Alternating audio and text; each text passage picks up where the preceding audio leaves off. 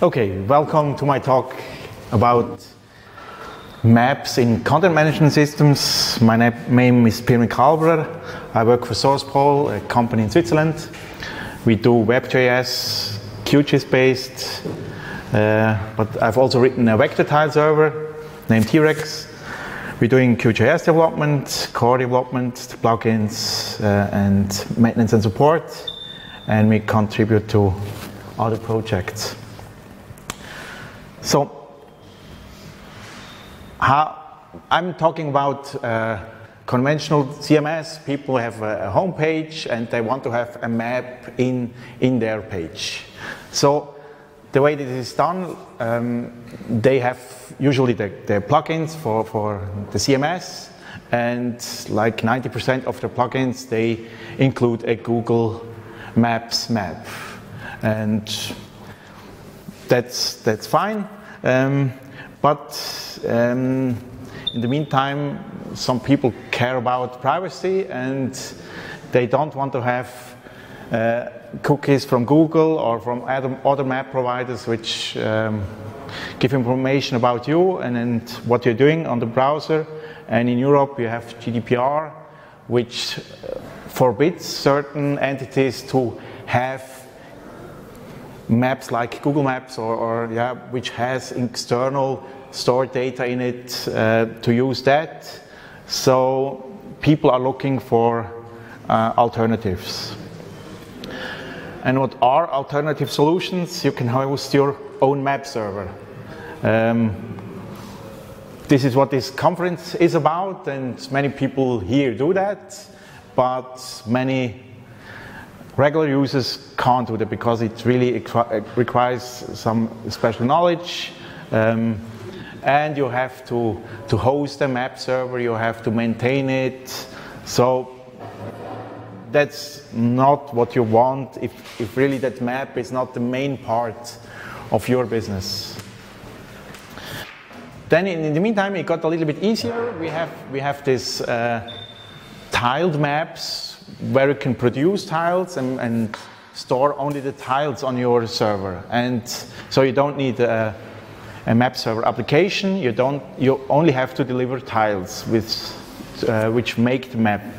Um, and there are uh, a few online services which create maps uh, from OpenStreetMap, especially. Um, and you take these maps, copy it to your server, and then you, you need some little things like the content type should be correct, and then you uh, include a map viewer, a JavaScript map viewer snippet in your page, and you can display that. So that's uh, a good general solution. And either you, you store these tiles directly as files, um, but uh, recently there came up a, a, new format which is called PM tiles, uh, which makes this uh, a little bit easier because it's uh, when you do a, a map with uh, many zoom levels and like a bigger extent, then you get thousands or hundred thousands or millions of tile files, and that usually that's getting difficult to handle. Um, and PM tiles stores multiple tiles in one single file. It's not um, a SQLite database like PM tiles. It is like a regular file. Uh, and it has metadata in it, it has an index in it, um, and then you can store tiles, you can store raster tiles, and you can store vector tiles, and it, it's optimized for HTTP access, this file. Um, SQLite based file like uh, MB tiles is not for HTTP access, it's for local access. Um, so it's a different kind of optimization, which is fine, but for a web application, for a web map, you don't need um, this kind of layout. So that's that's really the good layout for for web access. Uh, so that's the link about this format, and a link there are um, references to to tools, and there are uh, there is quite good map viewer support, so this is already out of date. I have to ask the author of PM Tiles who's sitting in here what I've forgotten. Um, um, but I mean, that's already two major viewers which are uh, supported. So you, you can take an open layer snippet and put in um, PM tiles as data source, and it handles all the rest. And the point is, you don't need any server application. You don't need an application reading from an SQLite database. You don't need uh, an application reading from any database, just reading parts of this file. So now we're talking, that was the mapping part, now we're talking about CMS. And I tried to find out what are the CMS which are in use in, in practice. And my sources said 95% is WordPress, which is a little bit crazy, but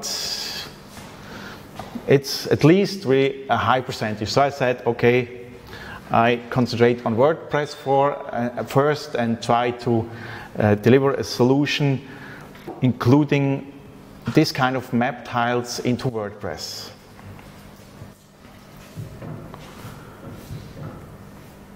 And that's how it looks like.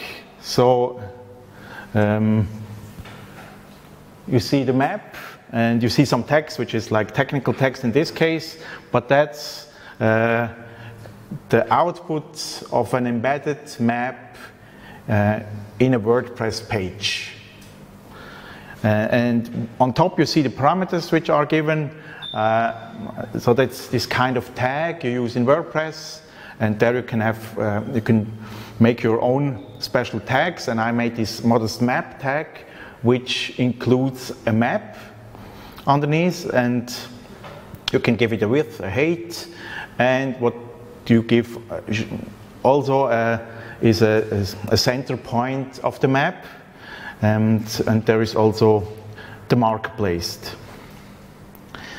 In the backend side, on the, in WordPress administration tool, uh, there is this interface where you can have a preview of the map and and here you can enter the, the parameters of the map you want to embed. Uh, you can uh, choose certain uh, features of the map. You can uh, choose whether you want in, to include a button to a Google Street View layer on the same place or Street View link uh, going out of the page or you want to have a link to Google uh, satellite map um, and if you click that this is um, inserted in that helper um, tag and you can use that, take that and put it into your uh, page, in your WordPress page. Um, but then the next part is coming, so that's the configuration of the map, and then you need the map data. Um, and that's this button here, download map extract. Um, and then we provide a service which extracts vector tiles out of OpenStreetMap data um, for a certain extent. It's mainly about uh, in the center, and then uh, we have a certain extent, so the, the size of the tiles is not that big, and everything is written in one MB tiles file, and you get this file when you press this button, or it's you don't have to save it by yourself, it's really just written into your WordPress data directory.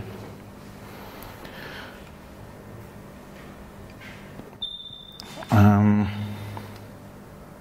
yeah, that's that's the the features of the, of this extraction, and and the resulting file is directly stored in your WordPress directory and the viewer is configured to, to read from that file. So, and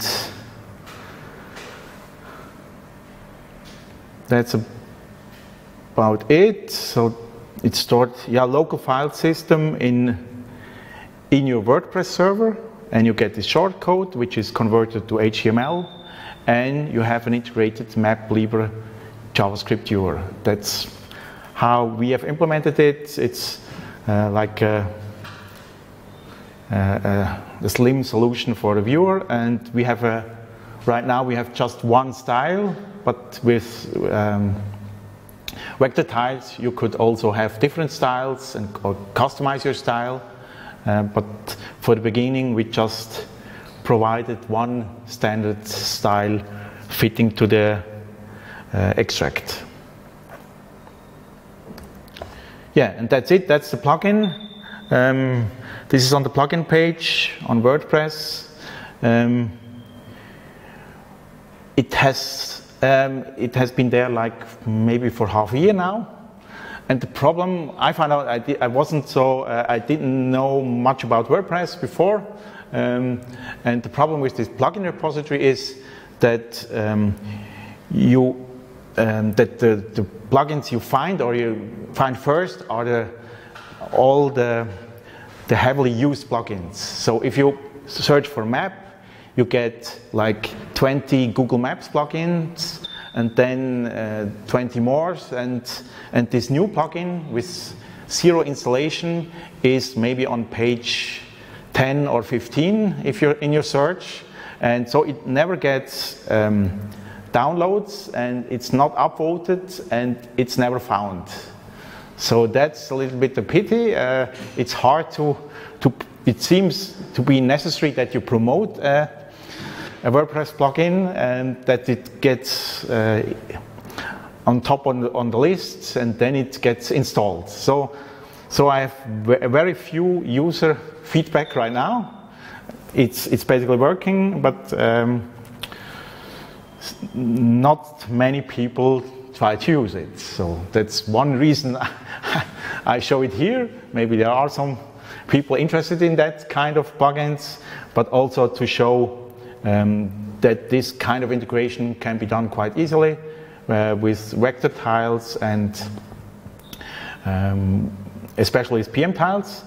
And I think especially public administration, they more and more they will look for this kind of maps. Uh, in the meantime, there was a, tendency that people started to to display no map at all because they had the problem with their Google Maps and then they had the problem with the key and the, the paid subscriptions and so on. And then came this this ugly warning. Uh, that is for developing only, and the action was that they turned off their map. And I mean, that's not the, the best solution. So I ask you to, to help or to, to tell people that there are other solutions uh, out of, of Google Maps. So yeah, that's what I can show you. Uh, thank you.